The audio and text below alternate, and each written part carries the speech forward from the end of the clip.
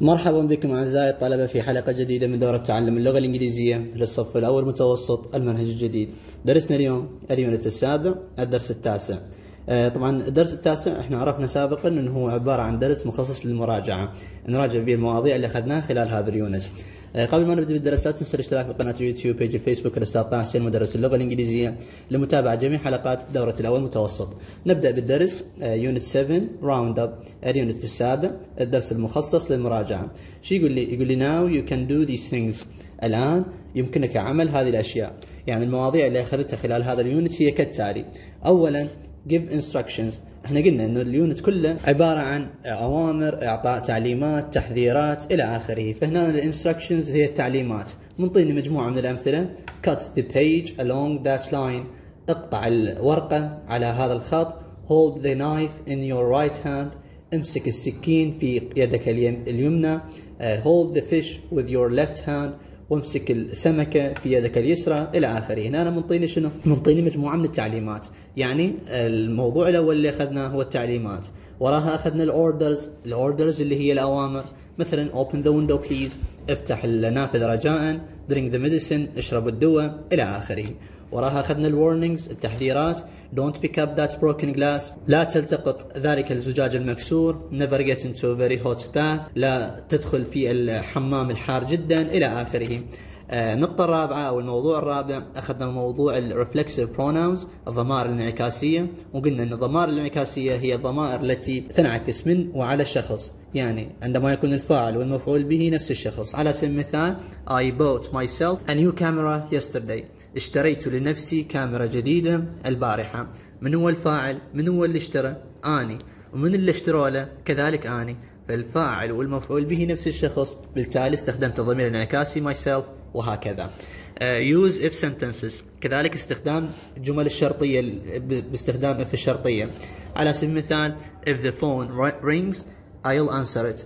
هنا منطيني مثال. قلنا إنه if إذا جتني بالبداية يأتي بعدها جملة بالزمن المضارع البسيط. زين خلي اتاكد انه هاي الجمله مضارع بسيط. إذا phone فاعل والفعل يحمل s لأن الفاعل مفرد أخذ الفعل s الشخص الثالث. إذا فاعل وفعل يحمل s مضارع بسيط. والجملة الثانية اللي بعد الفارزة جملة بزمن المستقبل هو منطيني answer it. I'll هي مختصره مال I will I فاعل will ومن ثم فعل مجرد. اذا راجعنا بشكل بسيط بشكل سريع المواضيع اللي أخذناها خلال هذا ال unit. لحد الآن ماكو فد شيء مهم من الممكن يجينا بالامتحان التحريري. هذا مجرد مراجعة سريعة للمواضيع اللي أخذناها خلال هذا ال unit. آه، بكتاب النشاط تمرين رقم واحد يقول لي نادر his wife هدى and their son فريد. نادر وزوجته هدى وابنهم فريد. Are driving in the car. They يقودون بالسيارة. يسوقون السيارة. Listen to their conversation. استمع إلى محادثتهم. And complete the sentences. واكمل الجمل التالية. إذا مثل ما تعودنا سابقا راح نقرأ المقطع النصي أو المحادثة اللي دارت بين نادر وهدى وفريد ونستخرج المعلومات وراح نجاوب على هذه الأسئلة المتعلقة بها. نادر يتحدث يقول that man. He didn't look. ذلك الرجل لم ينظر. نادر you are driving very fast. أنت تقود بسرعة كبيرة جدا. It's dangerous. إنه خطير. Drive carefully. قد بحذر أو سوق بحذر. Please رجاء. I am driving carefully. أنا أقود بحذر. It is the other drivers. إنهم السائقين الآخرين. يعني يقول أنا متحذر لكن السواق الباقيين اللي بالشارع ما متحذرين. نادر. Please drive slowly. قالت له يا نادر رجاء. قد بحذر أو ببطء If you don't إذا لم تفعل ذلك we'll have an accident. راح يصير حادث. Oh alright قالها حسنا. إنه بتتحدث تقول له فريد آه فريد يجاوبها يقول لها yes mom are you wearing your seat belt تقول له هل أنت مرتديا حزام الأمان؟ No mom I don't need it. قالها لا كلا يا أمي. أنا لا أحتاجه. Yes you do. قالت له بلى تحتاجه. Now والآن. Put it on. آه ارتديه نادر. آه be careful. كن حذرا. What's the matter? ما الأمر؟ those two boys they are riding on the wrong side of the road ايش قالت له قالت له قال لها شنو السالفه شنو المشكله او what's the matter ما الامر قالت له those two boys هؤلاء الاولاد الاثنين they are, they are riding انهم يقودون البايسكل on the wrong side of the road على الجانب الخاطئ wrong side طالعين it's okay لا بأس I've seen them لقد رأيتهم and one of them isn't holding the handlebars. قالها واحد من عندهم ما ماسك بالمقود مال بايسكل آه، ففريد يتحدث يقول له dad why have you stopped لماذا توقفت يا أبي؟ It's zebra crossing فريد. قال له إنها خطوط العبور يا فريد and that old man wants to cross the road. وذلك الرجل الكبير يريد أن يعبر الشارع. You see هل ترى؟ قال له oh yes نعم. نادر that's boy. فهدى تتحدث تقول له يا نادر ذلك الولد. hey walk on the pavement. قال له آه نادر يتحدث أو صاح على الولد. قال له hey امشي على الرصيف not on the road وليس على الشارع. boys أيها الأولاد they don't think. right نادر nice and slowly. if you drive slowly we'll still get on the beach in time for lunch. إيش قالت له قالت له حسنا يا نادر قد بحذر أو ببطء إذا قدت ببطء أو إذا سقت السيارة ببطء سوف نصل إلى الشاطئ في الوقت المحدد ونلحق على وجبة الغداء. Can I have a pizza? فريد يقول لهم أقدر أشتري بيتزا فتجاوبوا هدى اللي هي أمه يس فريد you can have a pizza. نعم يا فريد يمكنك أن تحظى ببيتزا هسه استخرجنا المعلومات الآن نجي نحاول نحل هاي الجمل. شو يقول؟ يقول هدى thinks نادر is driving. هدى اللي هي الزوجة أو الأماية تعتقد بأن زوجها نادر يسوق. شنو قلنا؟ قالت له أنت تسوق بسرعة كبيرة جدا. فأقول له very fast. تعتقد بأنه يسوق بسرعة كبيرة جدا. نادر think he is driving. بينما نادر يعتقد بأنه يقود يقود بحذر. فأقول لها carefully. هي قالت له تسوق بسرعة وهو قال لها لا أنا أقود بحذر. If they don't drive slowly إذا لم يقودوا ببطء they will have سوف يحظون. إيش راح يصير وياهم؟ راح يصير وياهم حادث. بقول له they will have an accident سوف يحظون بحادث. فريد is not wearing his فريد لا يرتدي. فراغ شنو اللي ما مرتدي فريد؟ اللي هو الطفل. قلنا ما مرتدي حزام الأمان. فاقول له seat belt. Two boys are riding on the فراغ side of the road. اثنان من الأولاد يقودون على الجانب الفراغ من الشارع يا جانب الجانب الخاطئ نسميه wrong side wrong side of the road نادر stops at a فراغ نادر توقف على إحنا قلنا إنه نادر توقف لما سأل ابنه قال له ليش توقفت؟ قال له at the zebra crossing على خطوط العبور لأن هذا المكان المخصص للناس ان يعبرون الطريق. نادر another boy to, to walk فراغ نادر أخبر أحد الأولاد أو واحد من الأولاد اللي بالشارع أن يسير فراغ. شنو هاي المناسبة للفراغ؟ إنه يسير على على الرصيف مو على الشارع، بقول له on the pavement، pavement معناها الرصيف. when they get to the beach عندما يصلون إلى الشاطئ they will have سوف يحظون يحظون بوجبة الغداء فأقول له لانش هذا ما يخص تمرين رقم واحد هذا مجرد نشاط صفي آه الأستاذ يلقي المقطع الصوتي بداخل الصف. الطلاب يستمعون هذا المقطع الصوتي ويفتهمون ويحاولون يحلون هذه الأسئلة من خلال المقطع الصوتي. غير مهم بالامتحان التحريري والامتحان الشفوي. ننتقل إلى تمرين رقم اثنين. يقول لي write the words that mean the same as the expressions below. اكتب الكلمات التي تعطي نفس معاني التعابير التالية شلون يعني؟ يعني أنا أجي أقرأ هاي العبارة مثلا يقول لي things you light a fire with. أشياء تشعل النيران فيها. شنو الشيء اللي نستخدمه على مود نشعل النيران؟ أكيد أعواد الثقاب أخذناها بدرس سابق. سميناها؟ سميناها matches. matches أعواد الثقاب. By yourself with nobody there. بنفسك ولا يوجد أحد معك. يعني أنت متواجد بمكان بنفسك وماكو أحد وياك. هذه العبارة شو نسميها؟